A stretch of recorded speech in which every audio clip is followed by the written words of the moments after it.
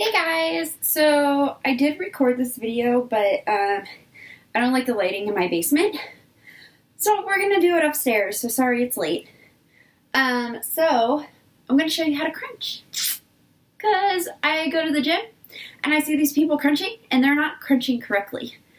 You're not gonna get results and I'll, I'll, I'll show you the crunch that they do. Um, and yes, I had a mishap with my hair, so we're gonna go orange for a little bit. Alright, so my yoga mat's downstairs, so always make sure you have something underneath you, like a blanket for your back. You want it supported so you're not just on the hardwood floor. It really hurts your spine too. So, a lot of people I see crunching and they're holding their head and they're just going like this. Okay, yeah, you'll have like, you know, your pressure in your abs or whatever, but you're not going to get results doing that. You're also probably going to hurt your neck because you're pushing on it. And that's uncomfortable. It's actually uncomfortable for me anyway. So what you're going to do is obviously you're you're going to lay down. You're going to contract your muscles and inhale. So contracting inhaling, and then you're going to want to also lift your shoulders off of the ground when you go up. Your hands are only to cup your head and just hold it, not push on it. So, and then when you go up, you exhale.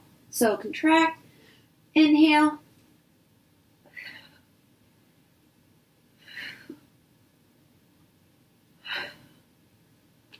and then you'll get all of all of your ab muscles. Um, exhale as you come up. I know the first crunch I did, I, I exhaled on the way down. Don't do that. Exhale on the way up. So contract, inhale. And that's how you do a crunch. My laptop doesn't like me today. Okay, so that's how you do a crunch. Um, and let's see, what else? I need to drink my pre-workout, and I'm about to work out, but I thought I'd show you show you that um, because I thought it was important. Um,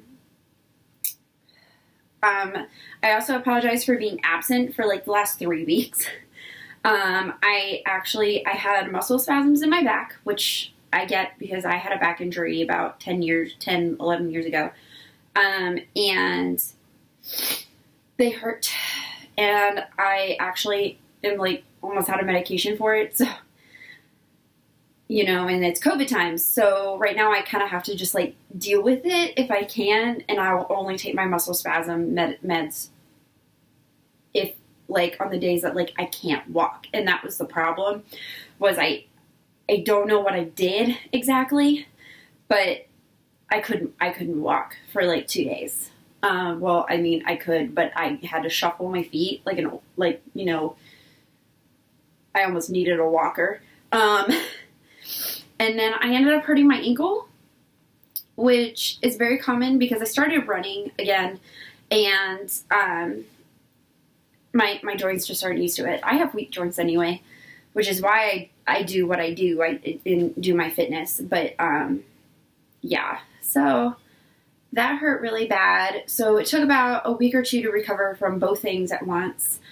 And then school started today, so I've been preparing for that, and I've just been like crazy. So I'm glad I finally got this up. Um, I'm so sorry that took so long. Um, I did record it. I did not like the lighting. I had like this glare from my light. Um, and then let's see. Oh, I wanted to talk to you about uh, body types as well. So there's ectomorph, mesomorph, and endomorph. I can give you some basics about ecto and meso. Um, ecto, your body can um, can process carbs better, I believe. Um, you can you can also take quizzes and like to find your body type and to like look up what exactly is um, better for your body type.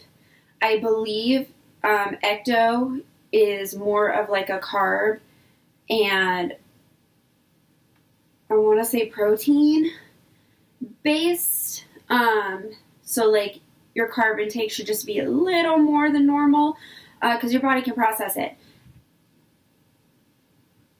Mesomorph, oh, and ectomorph, you are able to gain muscle fairly easily. Um, mesomorph, balanced diet, you can bulk easily. Um, you can gain muscle easily. Um, and that's that's pretty much it. Mesomorph's pretty like where you want to be, but unfortunately everyone's different. And if you're an, if you're an ectomorph, you can't be a mesomorph. Like that's just it's how your body processes food as well. So I'm an endomorph. I tend to retain my body fat easily. I cannot process carbs as well. So I need to be on a low carb diet. Um, and I can process protein and fat like real quick.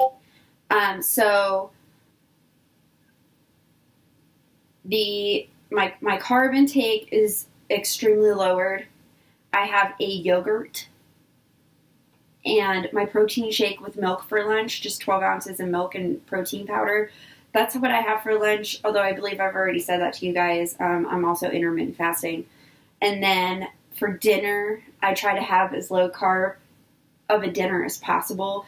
So, like, if my husband makes pasta for dinner, instead of a pasta base, I'll have cauliflower rice or I'll have broccoli those are my two main um, main bases for my low carb dinners because I can't I can't have carbs. I process it slowly and not very well and it just ends up turning into fat and my goal is to get rid of the fat. So that's just the difference. I endomorphs can gain muscle easily. You just have to work a little harder. Um, my main problem, endomorphs, as an endomorph, my fat tends to be right in my tummy area and my hips. Although I have that problem anyway because of birth control. Um, too much estrogen will do that to you too. And I think that's my problem with my birth control because they just switched me from brand name to generic without even telling me. And I wasn't able to get my doctor until yesterday. So um, I'm switching to a new one, and hopefully that helps get rid of this because hormones for women are another factor of um, how your body reacts. And unfortunately, too much estrogen will um, hold more body fat your hip area and your stomach area. So if that's something that concerns you, I would go talk to your gynecologist. Um, obviously, I would talk to a physician for anything, like if you want to intermittent fast or if you want to go on some sort of special diet, um, like keto, um, I would talk to a physician. I myself do not do keto, and I've said this many times. I don't like it it's extremely hard. Plus, it's hard to get like back onto a normal diet once you get off of it after you've been on it for so long. It makes you feel like shit, to be completely honest, because you're no longer going to be in ketosis. Um, my husband's body did not react well to eating normal food after he got off of that keto diet because he was trying to be supportive and did it with me. Um, but um, I also have heart problems in my family, so that's also something or another reason why I can't do keto because I'm too worried about my heart and I don't have any problems right now. But obviously, like, I have to be referred to a cardiologist. And so I can't do that because I have no problems at the moment. But my brother has heart palpitations, and so does my dad. So I just, I just don't want to do keto for those reasons. So if you have any heart problems, I, I wouldn't do it. But again, talk to your physician. Um, let's see. So that's my body type and how I'm trying to control that. See, school started today in the COVID world of Ohio. I'm not sure what's going to happen. We'll see. Um, I did try to record campus today of like how it is.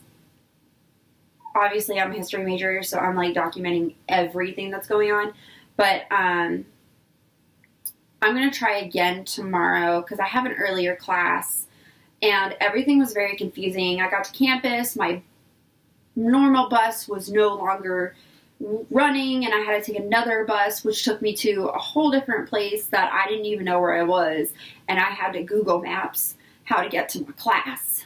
Luckily, it dropped me off next to the class that I have tomorrow, but it's it was a whole it's a whole ordeal now on campus and I wish they just went all online.